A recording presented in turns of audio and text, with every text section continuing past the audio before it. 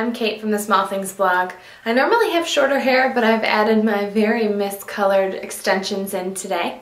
Um, I bought these when I got married because I was going to put them in my hair, but I decided to wear the hair that got me there, if you will, and not wear these extensions. But I was super blonde back then. Um, so they don't match, but I don't wear them out, so I haven't bothered coloring them. Today we're going to fishtail, um, and I'm going to do kind of a side fishtail so we're going to start just by gathering your hair into a side ponytail. So you just really need it to kind of hold everything to the side. So my fishtail might have some awkward pieces sticking out, partially because it just looks like I have a terribly layered haircut because of my extensions. But I'm going to basically show you the concept. What you do is divide your hair in half and get that more even. Okay, so we've got two instead of three like a normal braid and you pull one hair from the far section, bring it to the middle, and basically what it's going to do is join that side. And then on the other side, you're going to do the same thing. You're going to go over and join it in with that side.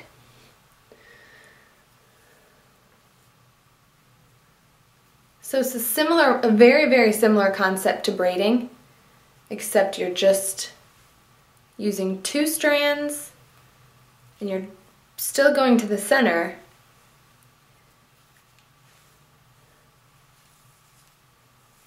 If you want a really, really tight fishtail braid, take small sections. If you want kind of a bigger, softer braid, just take smaller or larger sections.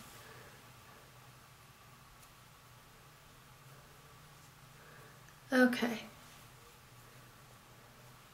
You can kind of see it coming together there.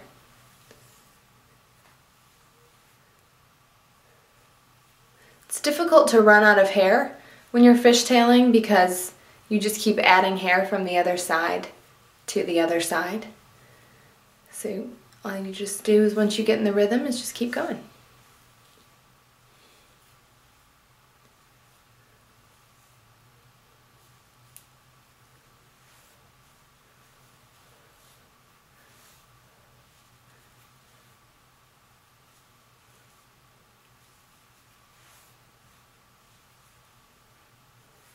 Yours will be much more polished since you won't have to, to deal with two wildly varying lengths.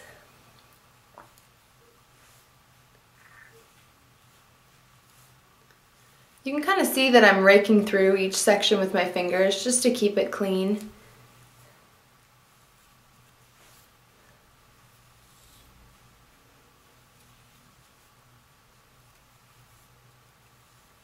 Okay. So we'll go a few more.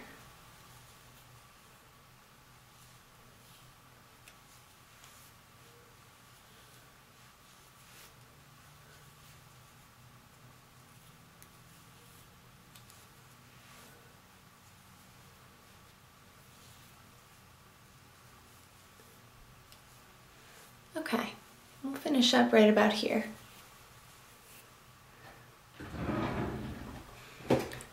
Grab another clear rubber band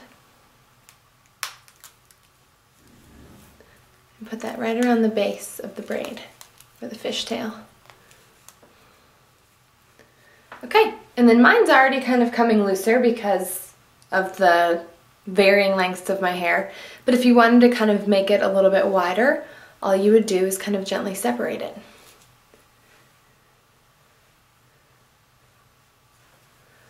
So there you have it. That's how to fishtail. It's a very simple concept, but don't be frustrated if you can't get it the first time. Once you can understand how the sections just go to the other section over and over and over, it'll make more sense and I'm sure you'll be able to do it.